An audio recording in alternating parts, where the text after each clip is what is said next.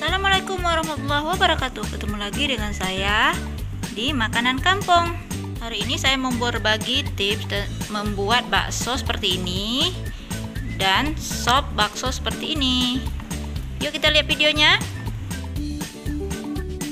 Tapi sebelum itu jangan lupa like Subscribe Dan tekan loncengnya supaya saya semangat bikin video masakan lagi. Terima kasih. Bahan-bahannya tepung kanji 10 atau 12 sendok makan. Merica setengah sendok. Terus ah, bawang putih, bawang merah, jahe, garam dan serbuk kaldu. Ini air es. Air es tuh secukupnya aja.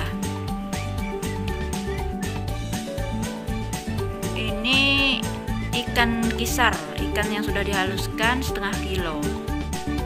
Kalau saya ikannya itu dicampur air es dulu diratakan. Supaya apa? Supaya nanti kenyal ikannya. Ini saya menggunakan tangan saya ya karena untuk keluarga saya sendiri. Kalau kalian tidak mau menggunakan tangan boleh disarung. Setelah merata campurkan bumbu-bumbu tadi yang sudah dihaluskan. Campurkan biar sampai merata terus tambahkan tepung sedikit demi sedikit ya. Kalau untuk kita masak di rumah jangan terlalu banyak tepung. Tambahkan garam dan setengah sendok soda kue guys kalau ada untuk supaya kenyal dan seperti bakso daging terus kasih juga serbuk kaldunya sesuai selera lah ya. Tambahkan sebutir telur ke dalam adonan. Bentuk adonan seperti bisa dibulatkan yang bisa disendok ya supaya tidak terlalu keras jadinya. Oke selesai itu kita panaskan air sampai mendidih ya guys. Bahkan garam biar agak gurih nantinya ini nih yang saya bilang tadi sudah mendidih kita bentuk bola seperti ini supaya apa? Supaya baksonya tidak keras ya guys. Nah ini. Untuk menandakan baksonya sudah masak ini nih baksonya timbul sendiri ya. Tuh timbul sendiri kita angkat. Tiriskan ini nih hasilnya guys. Bagus kan nanti kenyal-kenyal kita makan dan tidak keras Oke, untuk resepi pertama bakso kuah rumahan guys. Ini nih, ya, bawang putih, bawang merah, jahe, serbuk kaldu, garam, merica. Seperti tadi ya guys. Terus ditambah dengan bumbu sop. Ada kayu manis, sapu laga, bunga lawang, dan daun sop sendiri. Kalau kalau ada digoreng bumbu sopnya masukkan ke dalam ini rebus kepala ikan guys ya yang bekas bakso tadi. Jangan dibuang masukkan di kepala ikannya biar nanti kuahnya enak. Seperti ini. Tara ini jadinya guys.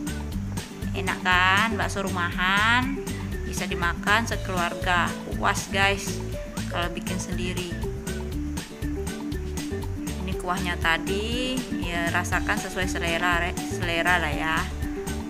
Tambah saus makan satu keluarga maknyus guys. Ini penampakannya ketika sudah dicampur guys. Mantap kan? Selamat mencoba. Resepi kedua sop bulat bakso. Ini nih bahannya. Ada kol ada kentang wortel sop seperti tadi ya guys. Bawang goreng. Baksonya. Oke pertama kita masakkan airnya. Sampai mendidih. Setelah mendidih masukkan kentang guys. Kenapa? Biar kentangnya lebih empuk duluan ya. Wortel juga terus ditumis bumbu sopnya. Daun sopnya nanti aja bumbu aja yang ditumis ya. Oke setelah harum masukkan ke dalam panci yang berisi sayur-sayur tadi ya guys.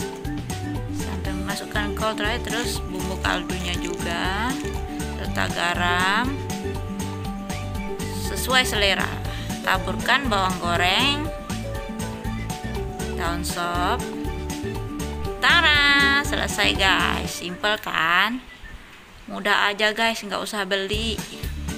Bikin aja di rumah ya. Lebih murah dan bisa banyak yang makan. Oke, terima kasih sudah menonton. Selamat mencoba. Sampai jumpa pada video selanjutnya. Assalamualaikum warahmatullahi wabarakatuh.